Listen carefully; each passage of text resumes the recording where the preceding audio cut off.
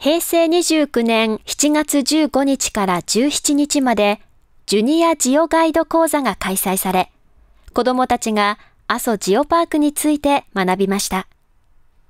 これは国立阿蘇青少年交流の家が平成24年から実施しているもので、子供たちが阿蘇ジオパークのフィールドを活用し、自然体験学習を通し、自然に親しみ、自ら学び、課題解決能力の育成を図ることを目的としています。29年度においては、全4回実施のうち、今回が第1回の開催となり、熊本県内の小学生34人が参加しました。開会式では森山鶴夫所長が